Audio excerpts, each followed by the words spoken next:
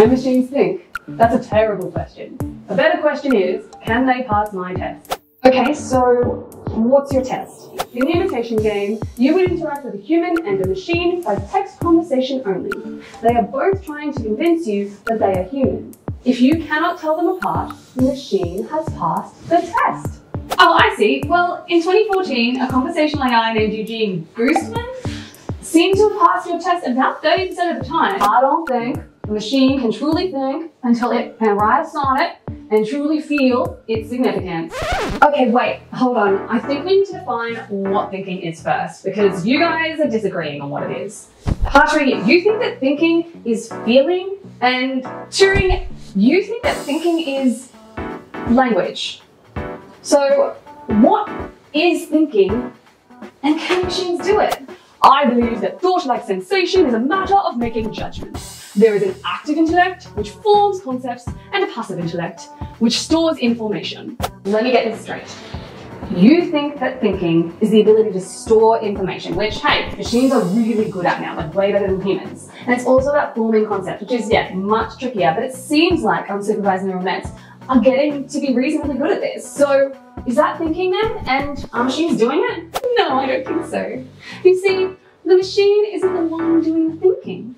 The programmer is doing the thinking. Okay, so some machines, like neural networks, have programmers input information into them. However, they don't take that information, form a bunch of decisions and processes, and then spit out a response. The programmer has literally no idea how they came to that decision or what those processes were that they did. So is this really the programmer thinking then, or can we arguably say that this is machines and they are thinking? I think that thought requires sensation, imagination, and language. So some machines definitely have sensation, they have touch, vision, hearing, etc. So that one's ticked off. Um, language, machines definitely have. I mean, you can talk to your phone now and ask it to do something for you and it will talk back. Now, imagination is trickier, but I think at the core of imagination and creativity is the ability to create something new from the combination of things that already exist. And if that's the case, well then machines can certainly do that. I mean, the background music of this whole video was designed by an AI. And this backdrop that you're looking at, this is also designed by an AI. Here, ready, watch this. Well, actually, we kind of think the human brain would be better understood as if it were a computer. Trying to figure out if machines have human-like thinking, not whether humans have machine-like thinking. Well, you didn't specify human-like thinking, you just asked, can machines think? If you want to know if machines have human-like thinking, we have to know how humans think first, and we don't know that. I thought this was going to be a simple question to answer. Well, maybe the goal isn't to answer conclusively from all angles. Instead, what we can do is look at all of the things that we generally agree are thinking and see if machines can do those. Okay, I'm with you. Let's go. Strategy game. Yes, and definitely better than humans. Pattern recognition. Yes, better than humans, especially for big data. Decision making. Yes, sometimes better than humans, sometimes worse.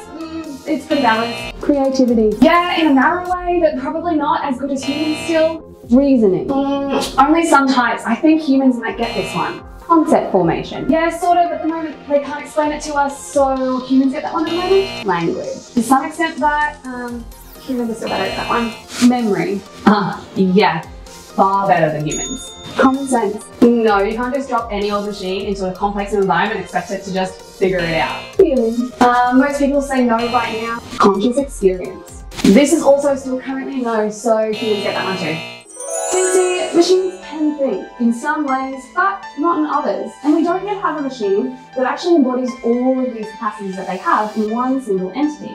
But what we can say is that machines show markers of thinking. I see. So the question isn't can machines think exactly like humans? Because the answer to that would be probably not. But that's not the goal, is it? I mean, if machines thought exactly like humans, they would be significantly worse at a lot of the things that they're great at now, just in order to gain some of the things that they don't have. And I don't know about you, but I'd really rather not give up things like Google Maps and the ability to store copious amounts of information and photos. So, I mean, I guess the answer is yes. Machines can think. It just depends how you define the question.